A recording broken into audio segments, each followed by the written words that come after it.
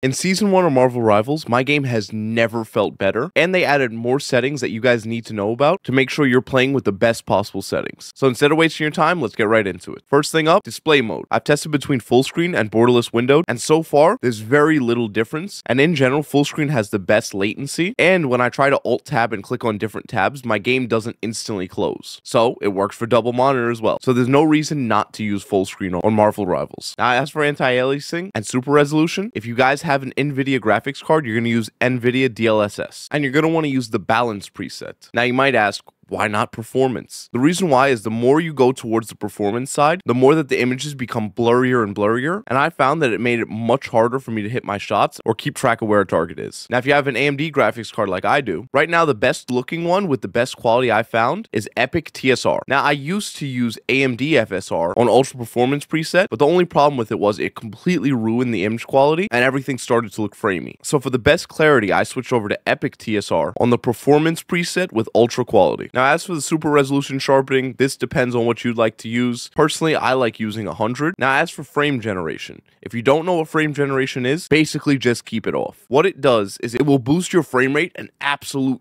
ton. The only problem with that is it'll almost double your latency. And in English terms, that means when you click, there's going to be double the delay with frame generation on rather than off. So I keep it off so I have the best competitive advantage. As for low latency mode, unfortunately, AMD cards don't have this, but if you're on NVIDIA, make sure you turn this on. Now, everything here, this is all preference. I like having my show FPS on and having my network stats, but VSync, unless you have a 60 hertz monitor, make sure you turn this off. And then for what you guys really want to see, the graphics settings. Everything I have is off or on low, except for shadow detail. And let me show you why. You see how clear my shadow is here? This has helped me in real games so many times because you can see enemy shadows as well. And in general, it doesn't cause a very big drop in frames. Now, one setting that every single person, please, if you, you gotta watch this part of the video, everyone needs to see this. You need to head over to keyboard and go to combat. From combat, if you look right over here, you can see mouse smoothing and mouse acceleration. You wanna make sure both of these are off. What this does is, if you go from one target to another with mouse acceleration on, depending on how fast you move your mouse, it will move faster and it will make your aim completely inconsistent. Before we had to have our own config files to do this, but now you could just do it right here. Now, one other thing, even if you have this mouse acceleration off, you might still have mouse acceleration on. And let me show you how to fix that. From Windows, you want to search mouse.